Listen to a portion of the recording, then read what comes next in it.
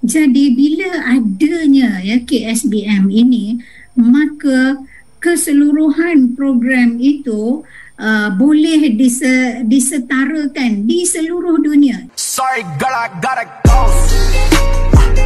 Yeah you know this ain't the old me.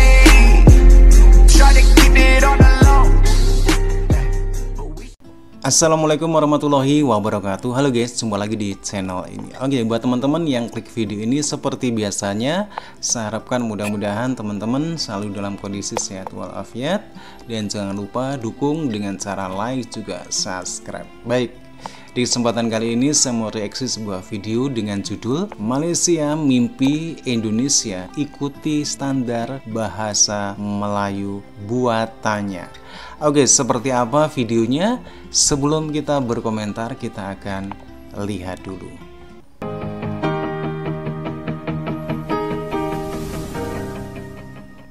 Lucu sekali, Kementerian Pendidikan Malaysia rupanya masih bermimpi Indonesia akan mengikuti kerangka standar bahasa Melayu yang dibuatnya. Mereka juga masih mengklaim bahwa bahasa Melayu dituturkan ratusan juta orang. Sebelum melihat Malaysia. Kita simak dulu pemaparan Kementerian Pendidikan Malaysia berikut. KSBM ini sebenarnya adalah sebahagian daripada program dalam uh, program pemertabatan bahasa Melayu uh, Kementerian Pendidikan Malaysia. Hmm. Uh, KSBM ini ialah satu dokumen sebenarnya ya, tetapi dokumen yang menjadi rujukan untuk menyetarakan standar penggunaan bahasa Melayu yang telah dibangunkan oleh Kementerian Pendidikan untuk menentukan kecekapan penguasaan dan pemerolehan bahasa Melayu dalam kalangan penutur dan juga pengguna bahasa Melayu. Uh, kita sebagai pengguna bahasa di mana kedudukan kita dalam uh, konteks KSBM itu tadi. Jadi KSBM ini digunakan sebagai standar dalam menentukan aras itu dalam kalangan penutur bahasa Melayu tidak kira lah di peringkat sekolah, sekolah rendah, sekolah menengah atau pengguna biasa di peringkat agensi atau di peringkat yang lebih tinggi lagi ya. Uh, sehinggalah ke peringkat uh, pakar-pakar bahasa dan sebagainya. Ya, uh, tiga tahap iaitu tahap asas, pertengahan dan tinggi. Yang paling pentingnya yang menyetarakan ya pemerolehan dan kompetensi berbahasa Melayu pada peringkat dunia dan serantau yang melibatkan negara-negara seperti Indonesia, Singapura dan Brunei yang melibatkan negara-negara seperti Indonesia, Singapura dan Brunei. Kita tahu ya di uh, di uh, di dunia ini ada lebih daripada 280 juta penutur bahasa Melayu sebenarnya di seluruh dunia. Kita tahu ya di uh, di uh, di dunia ini ada lebih daripada 280 juta penutur bahasa Melayu sebenarnya di seluruh dunia ya. KSBM Bukan saja ini di Asia Tenggara ini tetapi kata di bahasa Melayu ya lain juga. dan kita tahu juga di luar negara ada universiti yang menawarkan program bahasa Melayu dan juga um, program uh, pengajian Melayu ya. Selalunya uh, sekali pengajian hmm. Melayu dan juga bahasa Melayu. Jadi bila adanya ya KSBM ini maka keseluruhan program itu Uh, boleh dise, disetarakan di seluruh dunia. Jadi kalau sekiranya bahasa Melayu diajarkan di SOAS di UK ya, di United Kingdom dan juga diajarkan di uh, University of Tokyo di Jepun program dan Malaysia aja enggak jalan kok Hankyu di yang Korea, jalankan bahasa Indonesia standar pencapaian itu BIPA. haruslah sama ya barulah dikatakan itu standar bahasa Melayu ya semuanya sama Itulah klaim Malaysia mengenai penutur bahasa Melayu. Mereka juga terkesan masih menganggap pemerintah Indonesia mau mengikuti standar bahasa Melayu itu. Hal ini sungguh lucu karena sudah lama Indonesia memiliki bahasa baku dan perangkat untuk menguji kemahiran bahasa Indonesia. Bahkan sejak tahun lalu, uji kemahiran bisa dilakukan lewat daring. Berikut ini adalah hmm. videonya.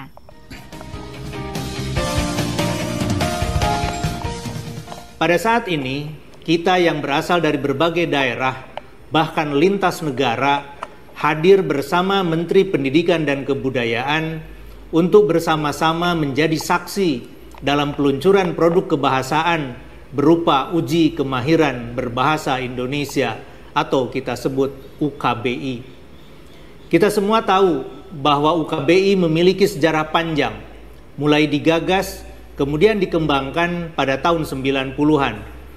Dalam rentang waktu tersebut, UKBI telah mengalami banyak perubahan, baik dari format, isi, maupun model penyelenggaraannya, mulai dari berbasis kertas sampai ke fasilitas internet. Namun, revolusi dalam UKBI ini sesungguhnya terjadi dalam enam bulan terakhir, yakni sejak akhir Agustus 2020 ketika tim UKBI Badan Bahasa mengubah secara substansial format, isi, dan cara penyelenggaraannya. Hasil revolusi inilah yang hari ini akan kita luncurkan kepada publik sebagai salah satu inisiatif dari lingkungan Badan Bahasa. Kami meyakini betul bahwa butir-butir soal di dalam UKB adaptif ini telah memenuhi semua prasyarat sebuah tes yang baik dan andal.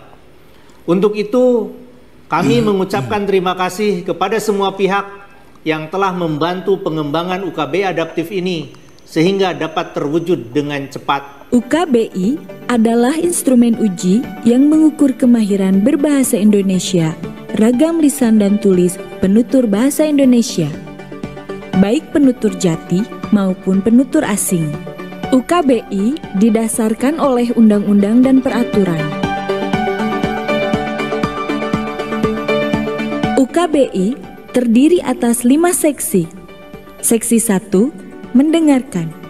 Seksi 2, merespons kaidah. Seksi 3 membaca. Seksi 4 menulis dan seksi 5 berbicara. Skor UKBI diperingkatkan menjadi 7. Peringkat ke-7 terbatas. Peringkat ke-6 marginal. Peringkat ke-5 semenjana. Peringkat ke-4 madya. Peringkat ketiga unggul. Peringkat kedua sangat unggul. Peringkat pertama istimewa. UKBI mulai digagas dalam Kongres Bahasa Indonesia 4 dan 5 tahun 1980-an.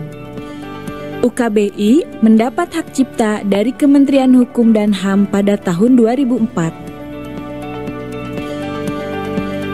UKBI menjadi standar kemahiran berbahasa Indonesia berdasarkan Permendikbud nomor 70 tahun 2016. UKBI Adaptif dikembangkan tahun 2020. Saya sudah pernah ikut UKBI Standar dengan predikat Madya. Sekarang, saya siap untuk tahu UKBI Adaptif dan saya siap diuji lagi. Terima kasih. Sarana UKBI telah dikembangkan mulai dari berbasis kertas, berbasis komputer, hingga UKBI adaptif yang dilakukan secara daring.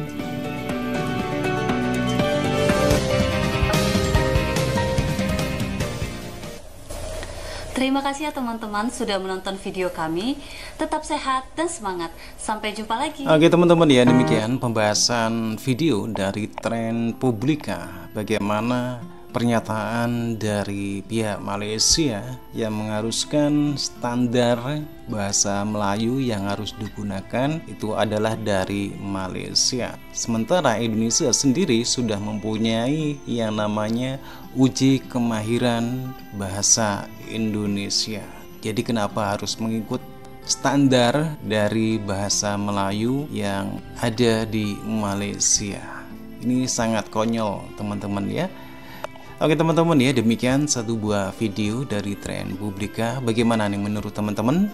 Silahkan teman-teman bisa berkomentar. Jangan lupa like juga subscribe.